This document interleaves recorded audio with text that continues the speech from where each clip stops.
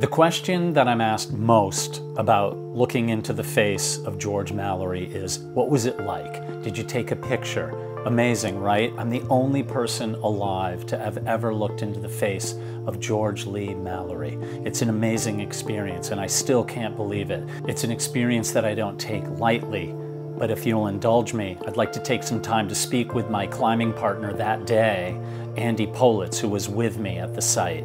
But first, if you want to always have the inside scoop on the mystery of Mallory and Irvine and any stories related to it, be sure that you click subscribe and you comment and like on this video. Tell me how you feel about it. Did you do it? I hope you did. And for my members at 99 cents a month, I occasionally send out emails and newsletters with special inside information that only members can see. Think about it. Click the button that says join below this video. After the discovery of George Mallory at nearly 27,000 feet or 8,200 meters on the 1st of May, 1999, we all descended back down to base camp for an extended rest and a huge party to celebrate the discovery. We rested and then soon we made a plan and that was to go back up on or about May 12th where we would take some time. Two of us would look for Sandy Irvine, and the other four would go on to the second step and try for the summit. We departed for Camp 5 and we immediately realized there was way too much snow to do a new search for Sandy Irvine, so the decision was made for two of us to return to the site of George Mallory when the other four would head up to the second step and toward the summit. As it would turn out, a gigantic Himalayan storm comes in, pinning us down for three days in the death zone. It was almost impossible just to stand up outside of your tent. So we waited and we knew if the storm went a little bit too long, we'd have to descend and end the expedition. On May 16th, the day dawned absolutely brilliant, clear, uh, not a breath of wind in the air. So the six of us went up to Camp 6. Andy Politz and I dropped an oxygen bottle, a rope, and some other equipment for the summit team. And then from there, we descended down to the site where George Leigh Mallory lay. Not unlike on the day of the discovery, when Andy and I went to visit the site of George Leigh Mallory on May 16th, we revealed new clues of the fate of Mallory and Irvine, among them the discovery of the watch. Here's Andy Politz from his home in Washington State. On May 16th, the dawn of that day, it was brilliantly beautiful. We all went up to Camp 6. You and I dropped an oxygen, full oxygen bottle, a rope, some gear and at high camp, you put the batteries in the metal detector, and we went down to the Mallory site by going way out west from Camp Six, not that far, and zigzagging down. And if you could pick it up from there, I remember you looking at me going, Well, I'll be damned. I can't find George Mallory. You, I don't know if you. Well, that would be that's that's pretty much in keeping with my typical navigation skills. being lost. He's a boat builder, people. uh, you know, my goal was to go up there. Ha- are we sure the camera hadn't just fallen out? Yes. And so the idea with metal detector was to sweep the area, mm-hmm. sweep up high, down in, did it. I walked down from where I was searching when we found him that day. I walked straight down to George Mallory. Um, I don't know if I deviated more than 50 feet. Hmm. And so I, I walked down his fall line. He fell out of, and I'm pretty sure he fell out of this gully I was going up into. Hmm. And, uh, you know, I may have fallen out of it too if Conrad hadn't called and turned me around and hmm. with, when he discovered Mallory. So 27,000 feet approximately, would you say? And I'll below the yellow band. Yeah. Uh-huh. In a steep gully. It was real slabby rock. Would have been very difficult to down climb. Mm. Yeah, I probably would have fallen out of it too. But how Mallory fell, that's a whole nother discussion. So yeah, I mean, it was your first trip to George Mallory, and uh, you know, I wanted to just allow you the full impact of that. Because um, that's something. That's a life experience. Yeah. We had the metal detector with us, so we were able to do more searching. Um, uh, you worked the metal detector, and I essentially looked under George Mallory, and that's when I found the watch.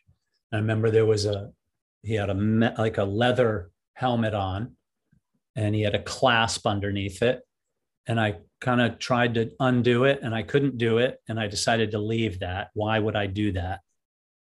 Now thinking and having seen the trauma over his left eye, I wonder if maybe there was damage to his skull that we did not see by leaving the leather cap on him.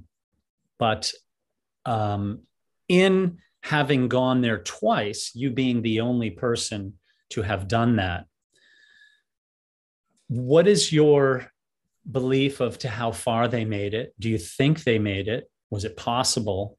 And did, have you ever worked out a scenario in your mind of what might have happened? I think anybody who had been through some of these World War One battles or been through war, period, that's not like normal experience, not even a little bit.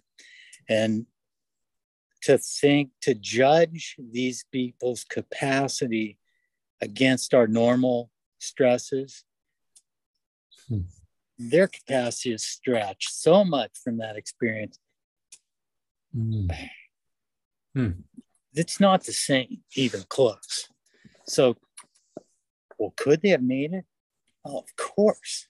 You know, this last trip, uh, I ended up taking my oxygen mask off for the last hour or so, just for fun. and uh, just to it, see what it was. It was slower, I don't even know if it's a whole lot slower, but could they have made it? Now, this is 2021, and this is not like Andy's doing his little experiment with George Mallory.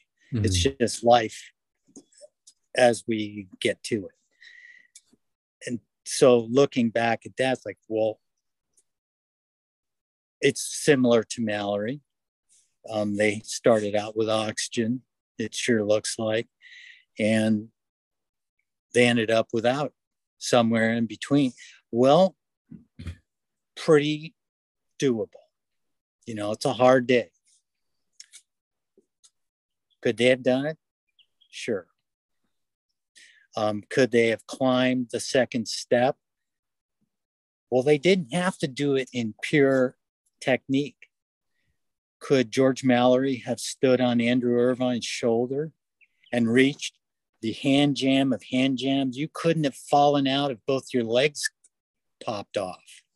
You that hand jam was so good that it's so natural. I don't think there's any trouble with them having climbed the second step with a handstand, a shoulder stand, probably not with a handstand, but you know, even going from a shoulder to an upraised arm, all those were techniques that were being done once in a while in, at the time. And mm-hmm. then it's just a matter of finishing off that long ridge to the top. And I'm sure that's a hard day, but they do. I think they know. Yeah, they know. Mallory was a student of the classics in, you know, in school and would know the value of your team winning the national football championship. Everybody in town suddenly stands a little taller, is willing to take a little more risk, willing to work a little harder just by inspiration. And what they were looking at back then was uh, Europe that had been decimated from war, from four years of war, bombing and just cities in rubble and having to rebuild. Uh, 9 million people had died, 37 million people were injured, and unbelievable amounts of pain. And I think they knew what the summit of Mount Everest would do for their country, mm. just like the North Pole or the South Pole had done for those countries, or the first person on the moon had done for this country. You know, what's the next one out there? Is there something else? Probably. Mm-hmm. You know, mm-hmm. it might be, I don't know. Mars. Yeah, it could be, or it could be an electric car that's really functional or yeah, cost effective or you know, climate change. I mean, those are moonshots. Similar, to, anyway. Mm. Could they have done it? Yeah. Were they motivated? Yeah, it would be a career move to be the first to climb the highest point on earth. Sure, that's a good move. And I can't, I would think that's a driver for George Mallory and Andrew Irvine. But I think at the same time, being rich and famous is not a good enough motivator to to face very difficult situations. You know rowing across the atlantic may you may start i'm going to be rich and famous if i can do that. Not really tons of people have done it yeah. but you may start with some vision like that some foggy idea that that's out what's going to be your but very soon reality steps in and it's survival. And then rich and famous doesn't matter anymore. It's am I going to survive? And what's going to be the element that's going to keep me taking one more oar stroke or do one more difficult thing to keep this boat upright? Yeah. Yeah. And so they were deep into the survival component and for some reason they kept going you know and there's probably a you know the cards you're dealt you're you're you're holding all the cards that are keeping you taking one more step and one more breath wow and they may be uh, society they may be personal family um, and career so do you think they did make it to wrap this all up so you well, could have okay I think they did. I think there was plenty of motivation to put in a long, hard day to get done with this. And, you know, mountaineering is full of long, hard days. Mm. They, we didn't invent 40 hour days. And certainly in the war, they had their share of 40 hour days. Yeah. And that's probably, you know, they were just looking at a long, long day. So, so to wrap it all up, Andy, um, not to say you'll never go back to Everest, but you certainly have a a breadth and wealth of experience there. What I hear when I when I've spoken with you is immense gratitude. Absolute gratitude for just waking up in the morning, being able to, as you even said when I talked to you a year ago, being able to put one foot in front of the other and actually keep doing what you do and being alive. And to me, that's a really beautiful message. You look at the challenges and stresses most people have. And I've been able to do what I've been able to do. yeah. It's it's I can't explain it. And, you know, every, so I've been that lucky, you know, my, I'm, well, my responsibility is to try and pay that back to younger generations or older gen to pay that back to anybody and encourage and help and somehow for them to try and gain a portion of the incredible luck I've had somehow. We're pretty damn lucky just to be able to be here and to be able to take on a challenge like Everest is is a real gift. And uh, at 61, I'm glad. I'm just glad I lived. I've been there four times. I've looked looked down the the barrel of the shotgun a couple of times, and the best part of it is the friendships that were made along the way. Yeah, yeah yeah and somehow try and take the essence of what we've learned and pass it on mm. that's you know that's probably what God, I don't know. It's probably what everybody's trying to do. Every old person and the young folks, you know, their responsibility is to set their perspective aside and to listen.